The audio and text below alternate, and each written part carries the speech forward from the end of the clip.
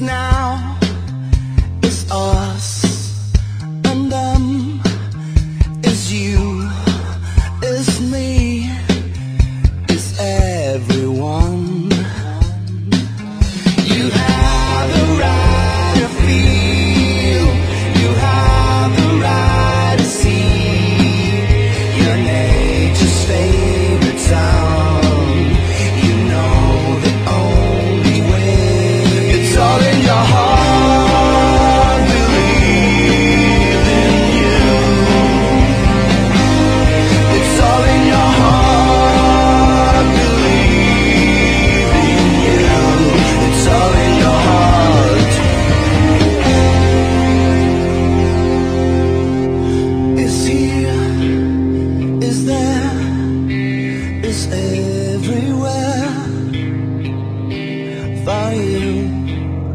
for me, for anyone.